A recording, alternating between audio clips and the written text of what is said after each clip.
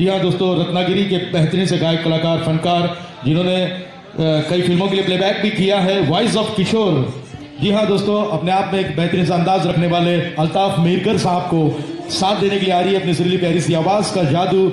जी हाँ सरजमी औरंगाबाद के और महाराष्ट्र की बेहतरीन सी गायिका भाग्यश्री जी, इस बार हमने चुना है फ़िल्म शक्ति का प्यारा सा अंदाज। किशोरदा लता जी और संगीत से सजाया है आर डी बर्मन साहब ने। आइए इस प्यारे से युगल गीत का आनंद लेते हैं।